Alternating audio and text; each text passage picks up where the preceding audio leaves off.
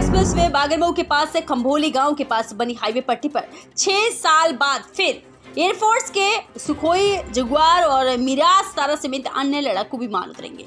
संभावित कार्यक्रम के अनुसार 6 अप्रैल को लोडिंग परीक्षण के बाद 7 अप्रैल को तीन घंटे संपूर्ण रिहर्सल होगा। वहीं एयरफोर्स के अधिकारियों ने 1 अप्रैल से 10 अप्रैल तक हाईवे पट्टी के साढ़े तीन किलोमीटर क्षेत्र को रिज़र्व करने का नोटिफिकेशन उन्नाव के अफसरों को भेज दिया।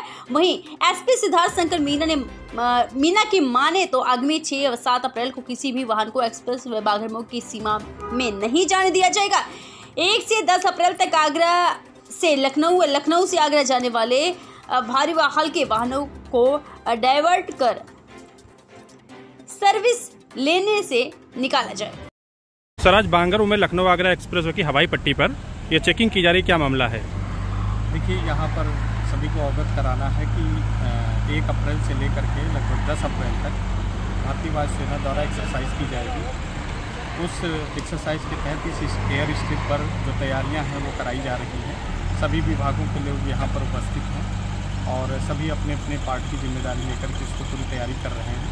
यहाँ पर विशेष तौर पे अवगत कराना है कि छः तारीख और सात तारीख को यहाँ पर वायुसेना द्वारा कुछ रिहर्सल किया जाएगा, जिसमें विमान यहाँ पर उतरेंगे और फिर यहाँ से उड़ेंगे तो इस तरह के कार्यक्रम के लिए सारी सुरक्षा व्यवस्था की तैयारी और ट्रैफ़िक डाइवर्जन जो एक तारीख एक अप्रैल से लागू होने की बात यूपीडा द्वारा बताई गई है, वो यहाँ पर कराई जा रही है, जिसकी तैयारी के मद्देनज़र उच्च अधिकारियों के निर्देश के क्रम में हम लोग यहाँ पर सारी व्यवस्था देख रहे हैं। पार्किंग ट्रैफ़िक डाइवर्जन सुरक्षा व्यवस्था और एयर फोर्स द्वारा जो भी चीज़ें यहाँ पर उत्तर प्रदेश पुलिस से अपेक्षित हैं, उसके तहत हम लोग तैयारी की पूरी व्यवस्था बना रहे हैं।